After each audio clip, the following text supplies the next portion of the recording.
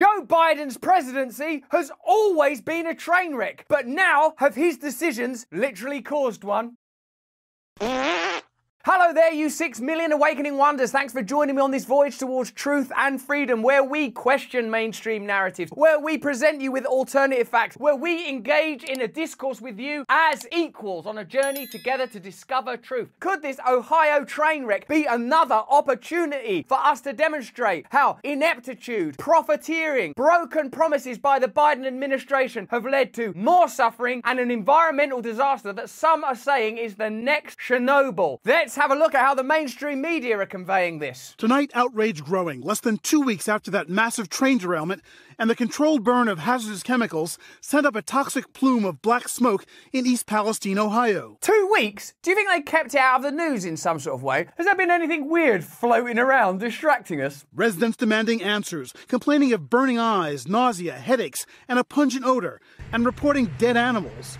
Officials confirming 3,500 fish killed by the chemicals. State officials now suggest drinking bottled water after telling evacuated residents it was safe to return home. It's safe to return home. Don't drink the water and don't look at those fish. Crews now work to remove soil and wreckage possibly contaminated by chemicals like vinyl chloride, suspected of causing cancer. So it's not all bad news. Again today, officials saying constant tests and monitoring of the air and water show the environment is safe. Hmm, I don't feel totally reassured, do you? Don't know whether it's the cancer or the dead fish, but something tells me this water isn't a-okay.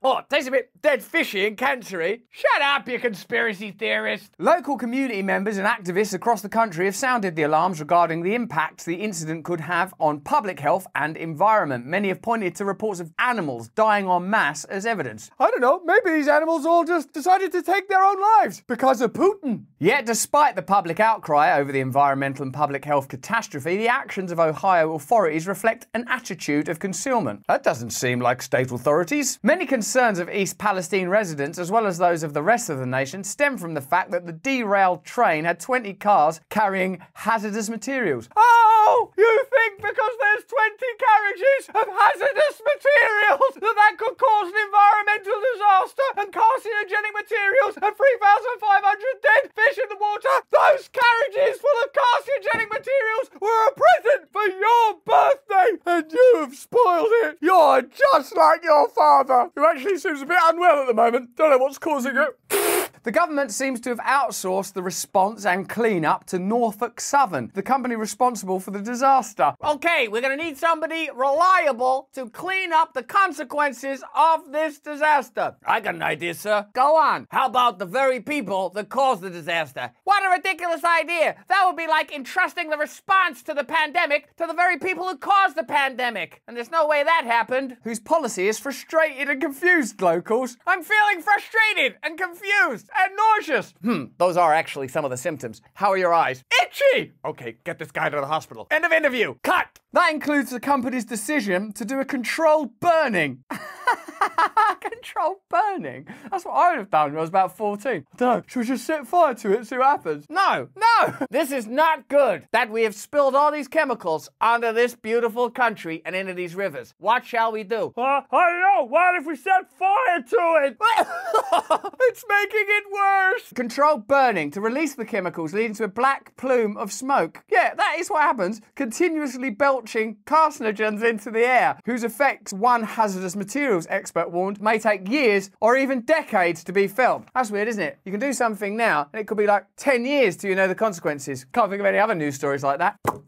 Five of the derailed cars contained vinyl chloride, a carcinogen linked to various forms of cancer. There's a lot of what ifs. Yeah, I can that. What if this causes cancer? What if this is the result of ineptitude? What if we paid rail workers more? What if we replaced antiquated machinery? What if instead of saying we care about the environment when you don't have to do anything except stuff that benefits corporations, when there's an actual environmental disaster caused by corporations, you do something about it? No. There's a lot of what ifs, and we're going to be be looking at this thing 5, 10, 15, 20 years down the line, Silverio Caggiano, a hazardous materialist specialist, told News Nation. The same expert criticised as backwards the decision to encourage people to return to their homes after a limited evacuation of 1,500 to 2,000 local residents. That's going to be one of those stories that goes on for a while. People are going to be saying, like, they told us to go back to our homes. Now this person's got cancer. Watch out for this one. Not only did the Environmental Protection Agency later reveal that the train was transporting additional chemicals no one knew about that may have been released in the derailment, but those who returned soon found themselves walking into what looks, feels, smells, and tastes like a contaminated zone. Just because something looks, feels, smells, and tastes like a contaminated zone It doesn't mean it's a contaminated zone. Who are you going to trust? Your own five senses or the government and corporations? That's all of the senses, other than sounds. And sixth sense, I see dead fishes. Following the February 3rd train derailment in East Palestine, Ohio, users on social media began sharing photos of an ominous black cloud hanging over the town, and fears that the disaster would become the new Chernobyl, which resulted in the spread of radioactive contaminants in Ukraine and across Europe. The Chernobyl incident occurred after a series of safety measures during a nuclear reactor test were ignored, resulting in a huge explosion and fire that spread large amounts of radioactive chemicals. But what is the connection between safety measures and ignored safety measures in these two cases? And why has Joe Biden directly contributed to this problem through decisions made and promises broken? For unionised rail workers, the train derailment exposes systemic failures in a railroad system that is driven by profit, not safety. Have you seen that anywhere else, like the pharmaceutical industry, like current wars? Railroad Workers United writes In the last 10 years, the Class 1 carriers, rail companies with the highest revenues, have dramatically increased both the length and tonnage of the average train while cutting back on maintenance and inspection, and we have a time bomb ticking. Just because we're cutting back on maintenance and inspection while simultaneously increasing the length and tonnage of trains, that's not a disaster waiting to happen. Let's make them bigger and heavier and stop checking them and looking at them and maintaining them. And a boss is problem in Ohio. Hmm, what could have caused this thing? Uh, Putin! I'm on the internet right now. You're on the internet right now. But who else knows you are?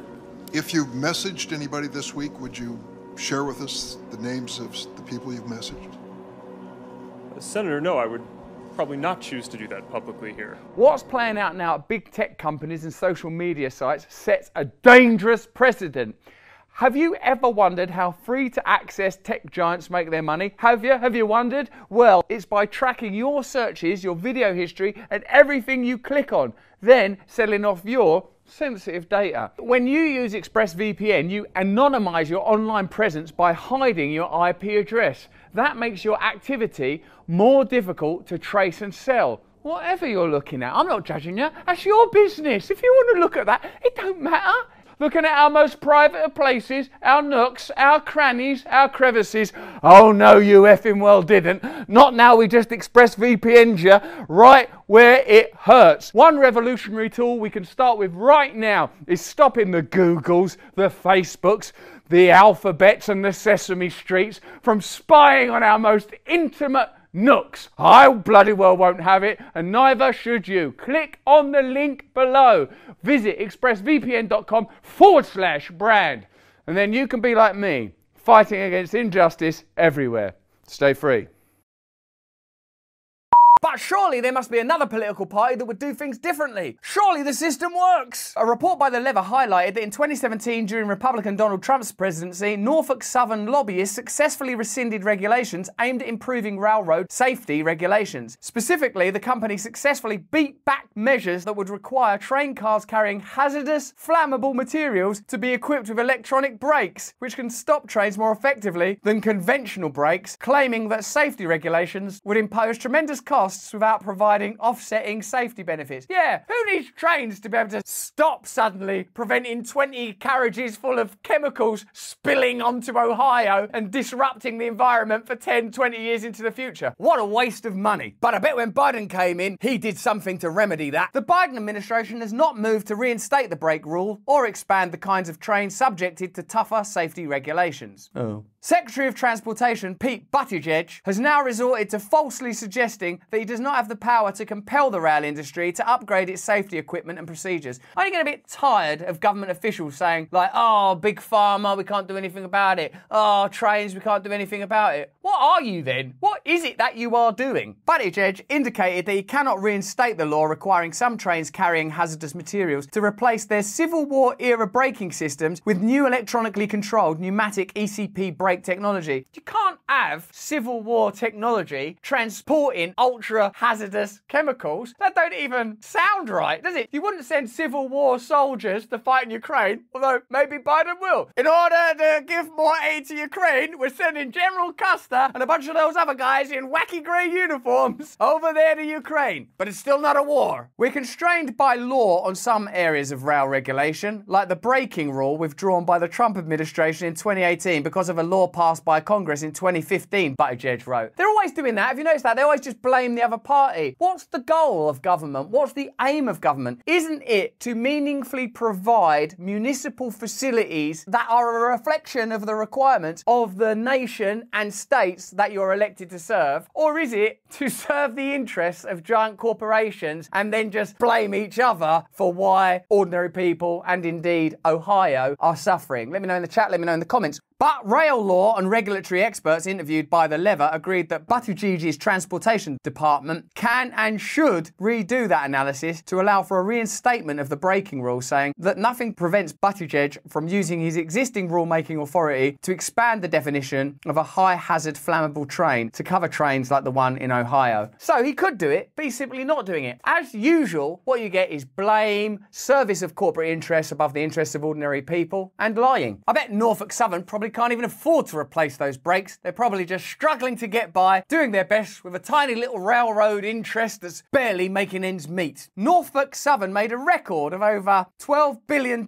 in revenue last year and recently announced a $10 million stock buyback program. Oh, great. So they're making huge profits and they're using those profits to do things to manipulate their own stock prices instead of doing things like putting brakes on your trains instead of ones that were there when Abraham Lincoln was president. Last year, railroad workers in the United States were on the cusp of a strike. Workers were demanding more sick leave to combat the effects of precision scheduled railroading, a corporate scheme to cut costs by demanding more work from fewer workers. Precision scheduled railroading, that's what they called it. What is that really? Uh, well, it's brilliant, really. We're going to precisely sack everybody and then schedule that they work more. Oh, you're a genius. Infamously, the US President Joe Biden and the US Congress blocked rail workers' right to strike by rapidly passing legislation that forced workers to accept an agreement without sick days. Biden campaigned as the most pro worker president in history. He was always saying stuff like that. When it comes to the crunch, though, they will always put ordinary Americans' interests behind corporate interests, whether that's supporting their right to be paid properly and work reasonable hours, or whether it's when there's an environmental disaster. Look how much time they spend talking about whether or not they care about the environment. When it comes to the crunch, though, they don't care about the environment at all. As part of his 2020 presidential campaign, Biden pledged that he would ensure all workers have at least seven paid sick days. Well, they're going to need them. The US Senate voted to deny 125,000 rail workers a handful of paid sick days that would have cost the equivalent of just four days of recent profits made by senators' railroad industry donors. Another easy way to measure where power lies and what direction the system is heading in. While opposing a plan that would have required them to spend $321 million to give workers seven paid sick days, the main railroad companies raked in more than $7 billion in profits and paid out over $1.8 billion